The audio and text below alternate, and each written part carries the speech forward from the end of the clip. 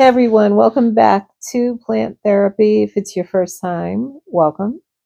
Uh, I have some plant mail I opened. Uh, this is in my hands a Peperomia peppermill. That's the common name. Uh, it's from Ecuador. And uh, I can't remember what else I found out about this, but it's a thin leaf peperomia. I thought it'd be a little bit more succulent like, but no, it's it's very thin. We'll see how I do with that one. And then I have a Hoya Heuschkeliana variegata.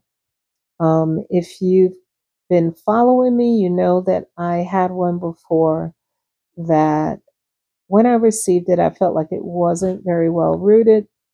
So I put it in perlite and um, it was rooting up because I was getting new leaves.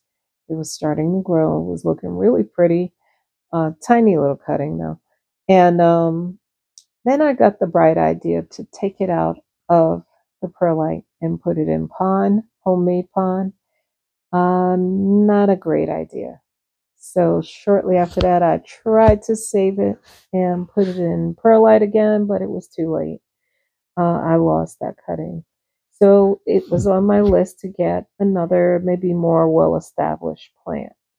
Now, I'm not messing with this thing. I'm not going to pull it out of the um, substrate it's in right now. I'll give it some time and then we will see.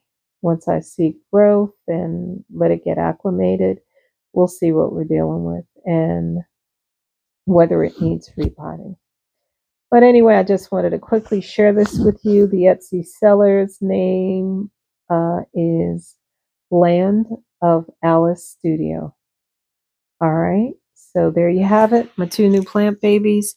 Have a great night.